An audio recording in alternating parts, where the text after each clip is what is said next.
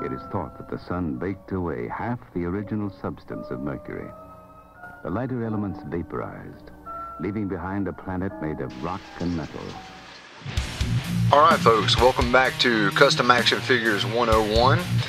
I'm Rob Panic. Um, today, I'm going to do a little tutorial that I've had quite a few requests for. Um, many of you may have seen this guy that I did. Um, and I've had a few requests on a tutorial on how to make the blast effects. Uh, to make the gunfire coming out of his out of his guns there. Um, along with that one, done a couple of other ones. We've got some flames to come out of your flamethrowers.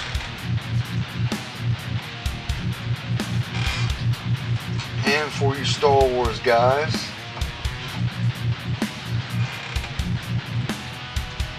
Force Lightning. Emperor, Emperor Palpatine here with his Force Lightning coming out. A few things you're going to need to make these. You're going to need yourself a low temp glue gun. But even though it's a low temp glue gun, we're going to be using high temperature glue sticks in it. You're also going to need paper clip, some pliers, a cup of ice water, and to make your hole in the end of, of the weapon, you're going to need a drill bit the same diameter as your paper clip. Um, I got a set of precision drill bits off of eBay. Uh, they came with a little pin vise. Um, you can use the pin vise.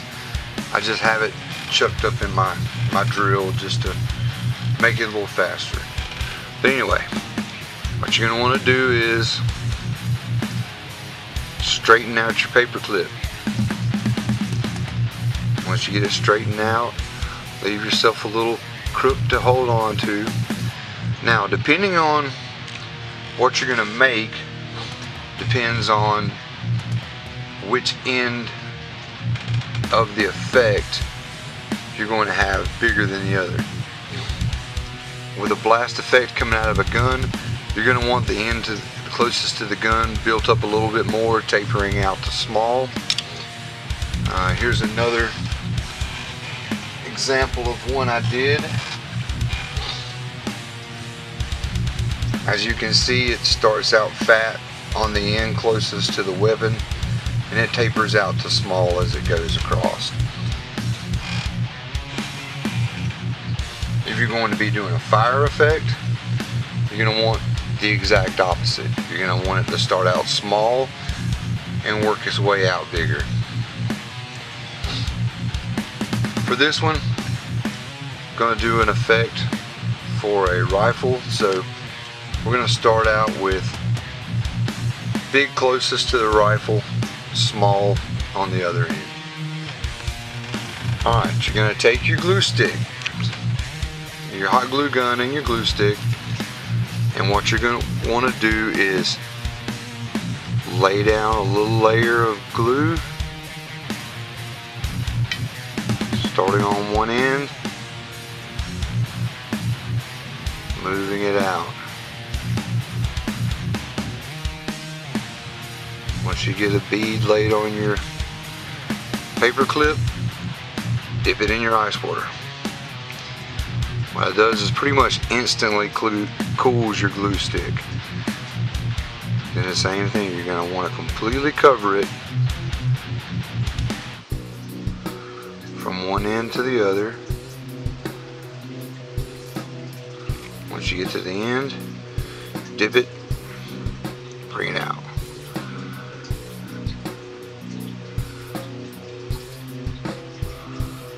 And as you can see, Building up a little bit more on the end closest to the weapon and tapering it out. Dip it in the ice water, bring it out. And you just want to keep going around until you've got it built up as much as you like or as little as you like. You know, it, it all really depends on personal preference. But I dip it in the water in between each pass to cool it make it easier to lay the next level on without it kind of melting all in together. You're going to want to turn around, find it, fill in any spots you've got that aren't covered. I do suggest using a chrome paper clip. Um, it, it won't show as much with a chrome paper clip as if you were to use a colored paper clip or a piece of colored wire. Um, that'll show through your clear glue. But the chrome, it, it, it blends itself in. Keep building it up.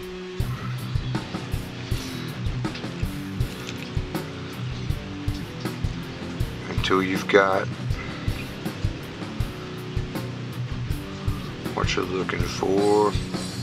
And the reason I use a high temperature stick in a low temperature gun is it doesn't seem to melt it out as much as a low temperature stick.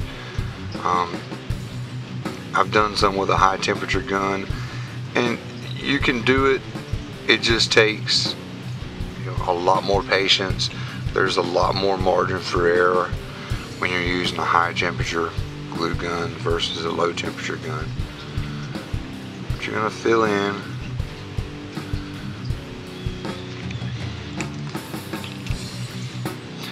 Okay. Okay once you've got the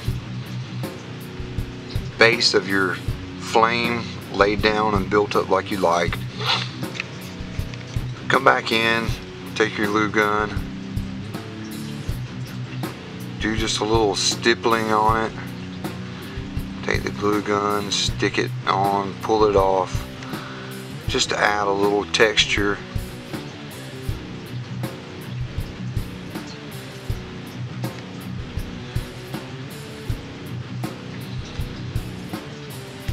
You can do little zigzag patterns.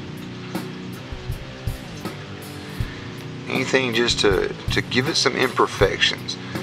You don't want it to look absolutely perfect. You want this to to kind of be a haphazard looking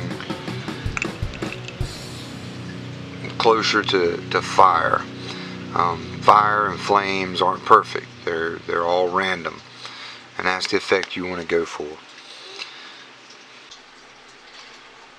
Okay, for the next step, I've moved over to my spray booth. Um, we're going to add some color to it. I'm using a Spectratex Airbrush Brilliant Yellow. It's a translucent clear yellow. Um, but you can use any clear paint or you know water down a little bit of your yellow latex I mean acrylic paint to to get it transparent but basically what you want to do is give it a coat of color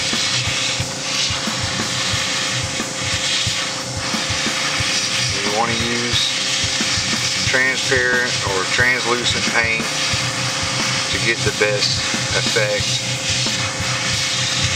I'm going to start with yellow. Once I've got it completely colored with my yellow, I'm going to come in. I'm using a little, oh, a little Army Painter War Paint Quick Shade Red Tone ink. And you can also brush it on. Um, just brush it on in thin layers if you if you don't use an airbrush. I'm gonna put a few drops of the red down in with my yellow paint.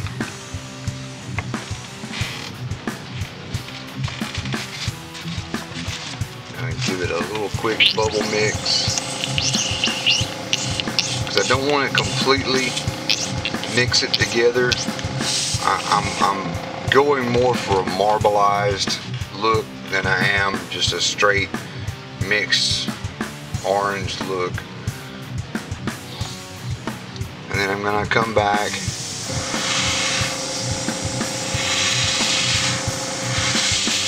with my red and yellow mix.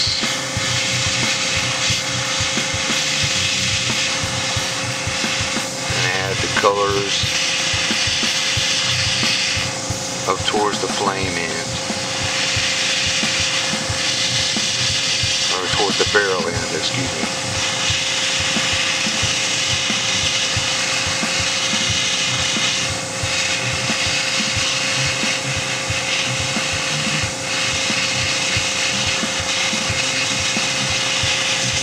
I'll actually leave the tip on this end more yellow.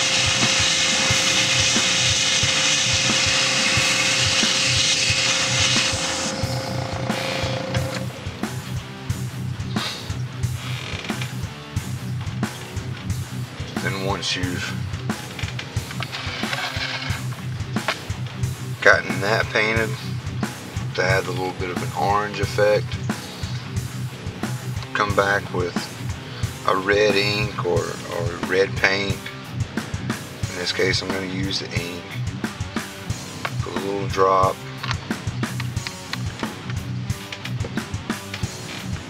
Then take your brush you're basically going to want to do like a, a dry brush up towards the, the barrel end.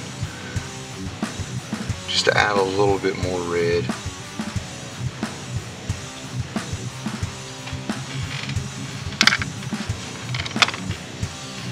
And then you've got it painted. You've got your flame burst effect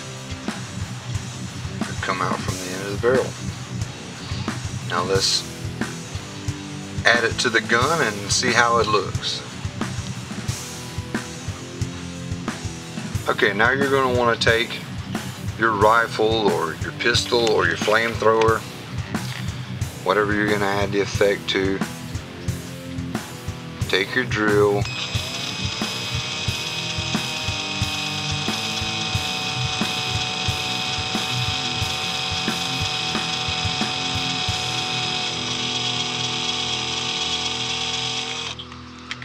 And slowly drill a small hole in the end of the barrel. What's that? What that's going to do is that's where your where your paper clip is going to go. Take your cutters, trim it off.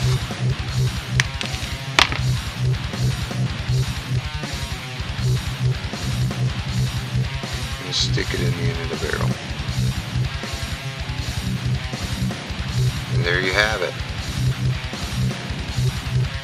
Once again, another very easy effect to make, something to to add to the look of your figures.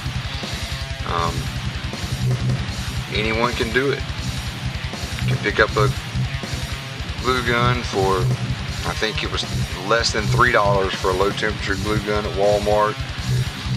Three or four dollars for a pack of, of glue sticks. Couple of bucks for a, a pack of paper clips, and then you know you've all already got you know paints. And get yourself a little set of precision drill bits to drill the end of, of your weapons, and you're good to go.